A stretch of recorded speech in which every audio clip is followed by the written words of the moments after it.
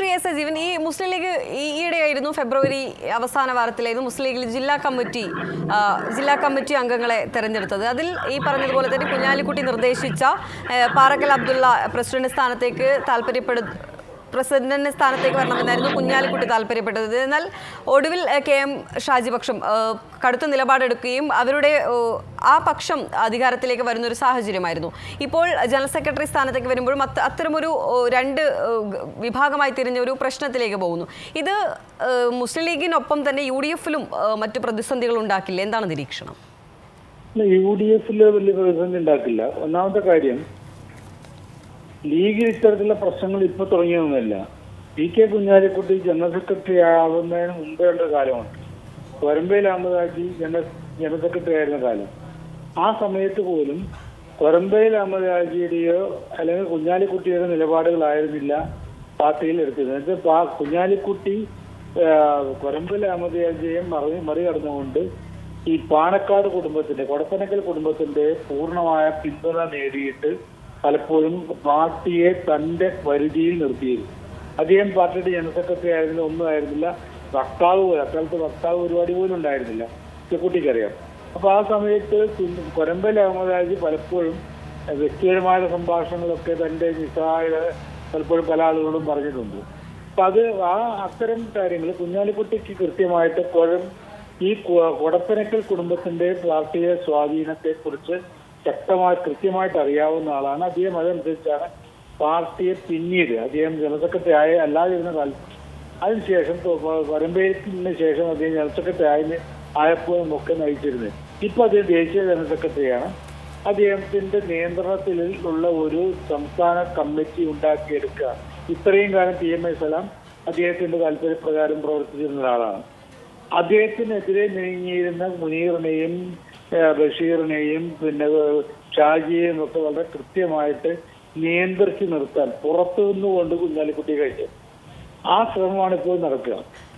അതിലൊരു പ്രധാനപ്പെട്ട കാര്യം എന്ന് പറയുന്നത് സമസ്തയുടെ പിന്തുണ നേടിയെടുക്കാൻ സി പി എം ശ്രമിച്ച ഒരു ഘട്ടത്തോടു കൂടിയിട്ടാണ് ലീഗിൽ ഒരു വലിയ പ്രശ്നം ഉണ്ടാവുന്നത്. അതായത് അതുവരെ മുസ്ലിം ലീഗിന്റെ പിന്തുണ എന്ന് പറയുന്നത് ഇ കെ സുന്നിയായിരുന്നു.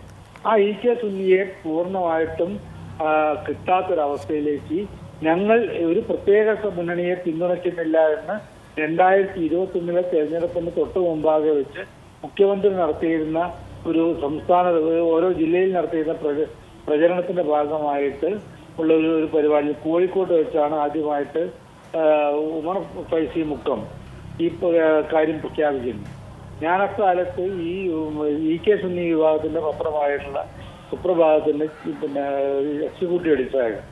ആ സമയത്ത് ഞാൻ ഈ പരിപാടി എനിക്ക് ഇൻവിറ്റേഷൻ കിട്ടി ഞാൻ ആ പരിപാടിയിൽ പങ്കെടുക്കുമ്പോൾ എന്റെ മുമ്പിലുണ്ടായിരുന്ന പ്രശ്നം ഞാൻ ഇതിൽ പങ്കെടുത്തു കഴിഞ്ഞാൽ സുന്നികൾ മുഴുവൻ എനിക്ക് എതിരായിട്ട് തിരിയുമെന്നുള്ളതായിരുന്നു പക്ഷെ ഞാൻ അവിടെ എത്തുമ്പോഴാണ് തൊട്ട മുമ്പ് എന്റെ തൊട്ട മുമ്പിൽ ഇരിക്കുന്നു ഉമർ ഫൈസി.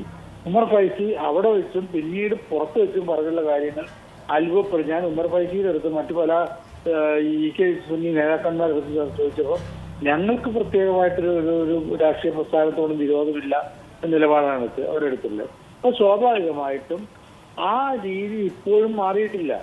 അതായത് അവരെ പിണക്കുന്ന രൂപത്തിലേക്ക് ഒരിക്കൽ പോലും പിണറായി സർക്കാർ പോയിട്ടില്ല. അത് തന്ത്രമാണ് രാഷ്ട്രീയ തന്ത്രമാണ്.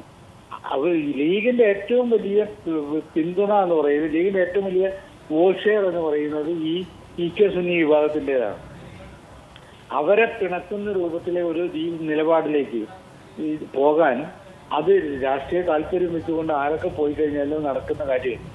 ഇതാണ് ഏറ്റവും വലിയ പ്രശ്നം. ഈ- പ്രശ്നം വെച്ചുകൊണ്ടാണ് കുഞ്ഞ് കുഞ്ഞാ കുഞ്ഞാലിക്കുട്ടി വിഭാഗം ഒരു പക്ഷ മുനീർ വിഭാഗം വേറെ പക്ഷത്ത് നിന്നുകൊണ്ടുള്ള പോരാട്ടം നടത്തുന്നത്. സ്വാഭാവികമായിട്ടും ഞാൻ വിചാരിക്കുന്നത് കുഞ്ഞാലിക്കുട്ടിയുടെ നിലപാട് അതായത് നമ്മൾ പ്രത്യേകമായിട്ട് നമുക്ക് വേണ്ട ബി ജെ പി വിരുദ്ധ മുൻ നിലപാടാണ് എന്നുള്ള ഒരു ഒറ്റ കാര്യം വെച്ചുകൊണ്ട്. അതിന് ആരൊക്കെ പിന്തുണയ്ക്കാൻ പറ്റുമോ ആരോടൊക്കെ ചേർന്ന് മുന്നോട്ടേക്ക് പോകാൻ പറ്റും അവരൊക്കെയാണ് നമുക്ക് വേണ്ടത് എന്ന നിലപാടെടുക്കുമ്പോൾ കുഞ്ഞാലിക്കുട്ടിയുടെ പക്ഷത്തേക്ക് ചായാൻ കൊടപ്പനക്കൽ തറവാട് ബാധ്യസ്ഥമാകും എന്നാണ് ഞാൻ വിചാരിക്കുന്നത്. ഷാജിയുടെ അത്യന്ത വ്യക്തിപരമായിട്ട് കുറെ നമുക്കറിയാവുന്ന ഷാജിയുടെ ഷാജിയുമായി ബന്ധപ്പെട്ട കേസ് തുടങ്ങിയിട്ട് കുറെ കാര്യങ്ങളുണ്ട്. മുനീറിനുള്ള പ്രശ്നമാണ് മുനീറിന് കുഞ്ഞാലിക്കുട്ടിയോടുള്ള വിരോധമുണ്ട്. ഈ ടി മുഹമ്മദ് ബഷീറിനുള്ള കുഞ്ഞാലിക്കുട്ടിയുള്ള വിരോധമുണ്ട്. ഇത്തരത്തിലുള്ള പ്രശ്നങ്ങൾക്കിടയിൽ വളരെ തന്ത്രപരമായിട്ട് ഇവർക്കൊക്കെ ഇവരൊക്കെ ആയിട്ട് നമുക്ക് കൃത്യമായിട്ട് അറിയാവുന്ന കുറ്റക്കുട്ടിക്ക് കുട്ടിക്ക് ഒക്കെ എന്നെ പോലെ തന്നെ അറിയാവുന്നതാണ്. ഈ ഇവരുടെ ഈ ആളുകളുടെ ഒക്കെ തന്ത്ര നീക്കപരമായ നീക്കങ്ങളെ കുറിച്ച് അറിയാവുന്ന ആളുകൾക്ക് കുഞ്ഞാലിക്കുട്ടിയുടെ നീക്കങ്ങളെ അത്ര എളുപ്പത്തിൽ തടയിടാൻ ഇ ടി മുഹമ്മദ് ബഷീറിന്റെയോ മുനീറിന്റെയോ ഷാജിയുടെയോ വിഭാഗത്തിന് പറ്റും എന്ന് ഞാൻ വിചാരിക്കുന്നില്ല. അപ്പോൾ ഇതിപ്പോൾ കൺക്ലൂഡ് ചെയ്ത് പറയുകയാണെങ്കിൽ ഇന്നിപ്പോൾ തീർച്ചയായും ജനറൽ സെക്രട്ടറി സ്ഥാനത്തേക്ക് കുഞ്ഞാലിക്കുട്ടി വിഭാഗത്തിന്റെ കൃത്യമായ പിന്തുണയോടുകൂടി ജനറൽ സെക്രട്ടറിയായി പി എം എ സലാം തുടരുമെന്ന് മനസ്സിലാക്കണം. ഒപ്പം തന്നെ മുനീറിനെയും കെ എം ഷാജിയും ഉൾപ്പെടെയുള്ള വിമത വിഭാഗങ്ങൾ വിമത വിഭാഗങ്ങൾ അത്തരം ഒരു ഗ്രൂപ്പിനെ ഇവർ അനുനയിപ്പിക്കുമെന്നും എന്ന് തന്നെ മനസ്സിലാക്കണം അല്ലേ? തീർച്ചയായിട്ടും. ഞാൻ വിചാരിക്കുന്നത് പി എം എസ് എല്ലാം പി എം എസ് എല്ലാം വലിയ നേതാവായിട്ടില്ല. അദ്ദേഹം കുഞ്ഞാലിക്കുട്ടിയുടെ ഒരു പ്രിയപ്പെട്ട ആളാണ് എന്നുള്ളത് കൊണ്ട് മാത്രമാണ്. ആ വ്യക്തിപരമായ ബന്ധത്തിനേക്കാൾ കൂടുതൽ രാഷ്ട്രീയ ചതുരംഗത്തിൽ കുഞ്ഞാലിക്കുട്ടി ഉപയോഗിക്കുന്ന ഒരു കരു. ആ രീതിയിലാണ് പി എം എസ് എല്ലാമിനെ ഞാൻ കാണുന്നത്. മുനി മുനീറിന്റെ നിലപാടുകളോ അല്ലെങ്കിൽ ബഷീറിന്റെ നിലപാടുകളോ ഷാജിയുടെ നിലപാടുകളോ എതിർക്കുന്ന രീതി എന്ന് പറയുന്നത് കുഞ്ഞാലിക്കുട്ടി ഈ രീതിയിൽ പാണക്കാട് കൊടപ്പനക്കൽ തറവാട് ഈ തരത്തിൽ കുഞ്ഞാലിക്കുട്ടിയെ ഇതുവരെ കൈവിട്ടിട്ടില്ല. ആ കൈവിടാത്ത ഒരു അവസ്ഥയിൽ സ്വാഭാവികമായിട്ട് കുഞ്ഞാലിക്കുട്ടി ഈ ഡെപ്യൂട്ടി പറഞ്ഞ വളരെ കൃത്യമാണ്. പല രാഷ്ട്രീയ വാർത്താ നിരീക്ഷകരും പറയുന്ന രീതിയിൽ ഈ കുഞ്ഞാലിക്കുട്ടി യുഗം അവസാനിച്ചൊന്നുമില്ല കുഞ്ഞാലിക്കുട്ടിയെ കുറിച്ച് കുഞ്ഞാലിക്കുട്ടി സംസ്ഥാന തലത്തിലേക്ക് സംസ്ഥാന ജനറൽ സെക്രട്ടറിയായിട്ട് മത്സരിക്കുന്നു എന്ന് പറഞ്ഞാൽ അത് ഭയങ്കരമായിട്ട് രാഷ്ട്രീയം അറിയാത്തൊരു കാര്യമാണ്. അപ്പോൾ സത്യത്തിൽ കുഞ്ഞാലിക്കുട്ടിയുടെ കരുനീക്കങ്ങളാണ് നമ്മൾ നോക്കേണ്ടത്. അദ്ദേഹത്തിന്റെ കരുനീക്കങ്ങൾ പി എം എ സലാമിനെ വെച്ചുകൊണ്ട് തന്നെ ആയിരിക്കും. നേരത്തെ അദ്ദേഹം മജീദിനെ വെച്ചുകൊണ്ട് നടത്തിയിരുന്നു.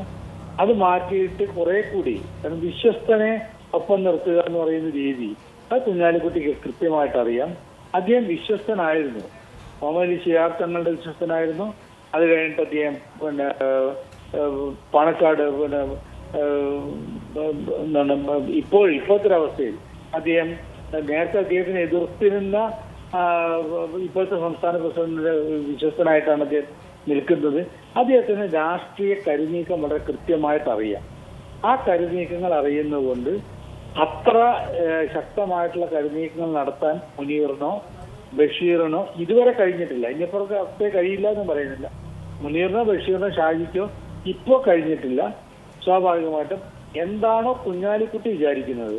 അതാണ് ഈ ഈ തവണ നടക്കാൻ പോകുന്നത്.